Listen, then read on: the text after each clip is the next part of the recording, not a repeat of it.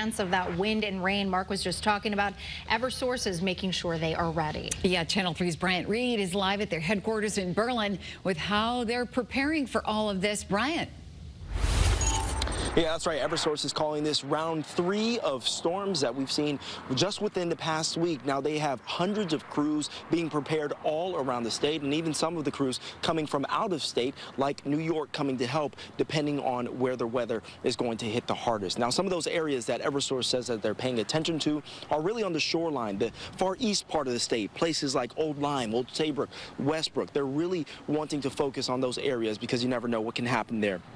Now, Eversource says each storm so far has had a different impact, so they're not sure what to fully expect, but they do have the manpower for whatever we get. With the ground still saturated from the melting snow and rain, Eversource is warning everyone to be aware that trees could fall on power lines, and they say make sure to prepare now so you aren't scrambling once the weather actually hits.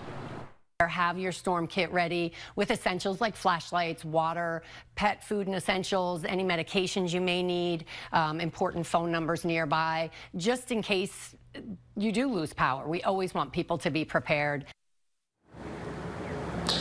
Now, a huge note here, if you do so happen to see any down power lines from any uh, trees or limbs, make sure to stay away from them and also try to keep your pets away from them also. Instead, call 911, call Eversource, and they'll make sure to come clean it up as soon as possible. Live tonight, Bryant Reed, Channel 3 Eyewitness News.